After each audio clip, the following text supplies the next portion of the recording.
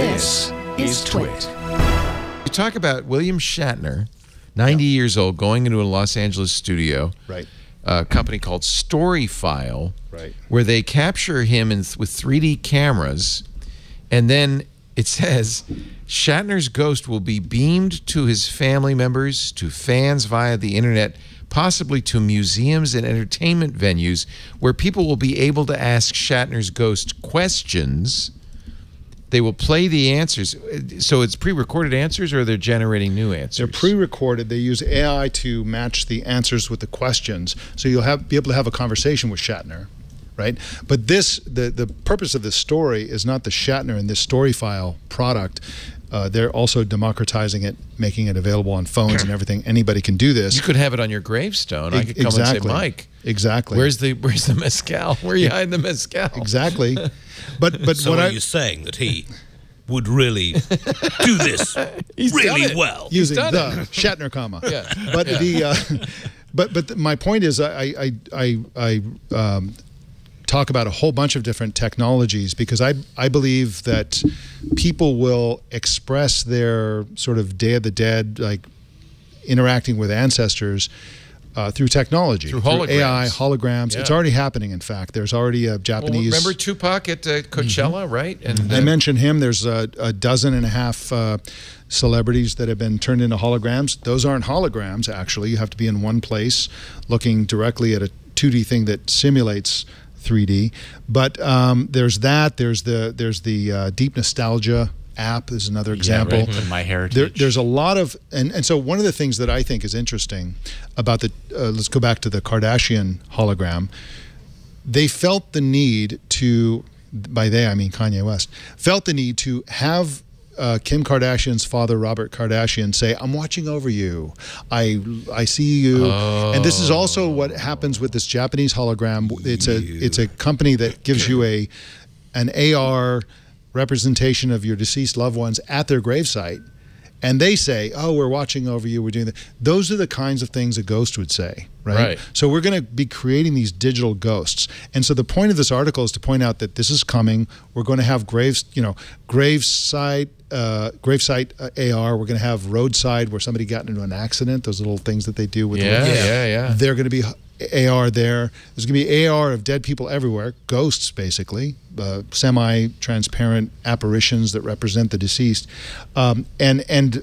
I fear that just like the spiritualist movement of 100 years ago, which I detail in the article, there's going to be a lot of fraud and hoaxes and people making money, basically Yeah. tricking people who are unfamiliar with the technology into believing that they are, in fact, conjuring the dead. Conan Doyle, the author of Sherlock Holmes, very famously believed. he he believed his stuff. Yeah, wife he was a medium. Yeah, and, And- uh, Harry Houdini went to great pains to debunk right. all of this. That's right. Yeah. So it was a big craze. It always happens during times of great trauma, and now we're having the technology of deep fakes, uh, augmented reality, and AI, where we, you know, it'll be a banality 20 years from now, 10 years from now, to have conversations with dead people like William Shatner, Tupac, This is et a, the Japanese uh, That- company spot message that you refer, refer to your, in, Yeah. in your article.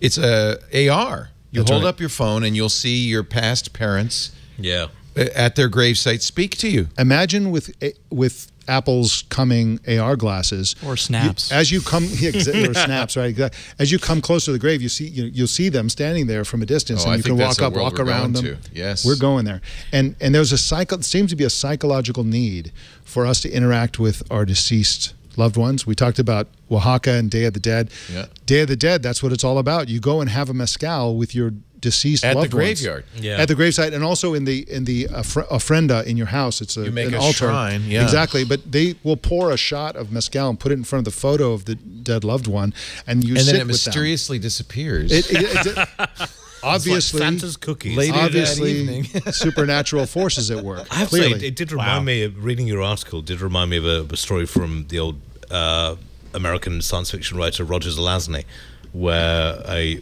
a grandson comes and negotiates with the AI of his dead grandfather. Um, Yeah. There's so- also a fabulous Black uh, Mirror episode, Yes. right, Oh, where you haven't bring back your deceased partner. in a- Superman. Yeah. What, what what was the what was happening in the in the Fortress of Solitude? Dead old dad right. was giving Yeah. advice, guiding. interactive Jor-El was visiting. We're all going to have Superman's dad, uh, and so technology will enable this. is Except for I'm my saying. kids who are stuck with me. I'm sorry to say, but Yeah, yeah. it's one of those things.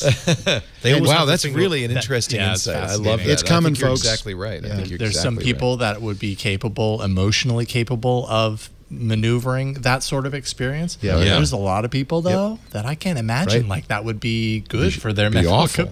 their mental Nah. state Move at that on. point. Like they might think they want that. No. Right. But then when faced That's the with the that's the point of the Black Mirror episode. Absolutely. You think you want that till you get it. Until you get it. And then you well, don't it's, want it's it. like the very concept of heaven itself. It's just like, oh, you you get together with your family Right. and everything's great. I've been with my family. After a week, we start arguing. This doesn't sound like heaven. Well, it would do that too.